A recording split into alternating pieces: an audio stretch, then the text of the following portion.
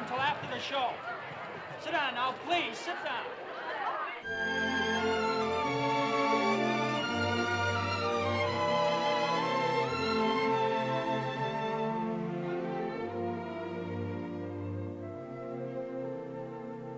The moment I saw her smile, I knew she was just my style. But it's clear to see there's no hope for me. Though I live at 5135 Kensington Avenue, and she lives at 5133.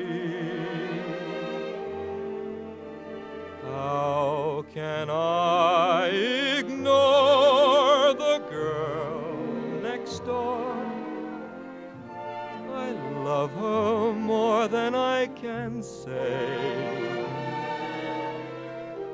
Doesn't try to please me, doesn't even tease me.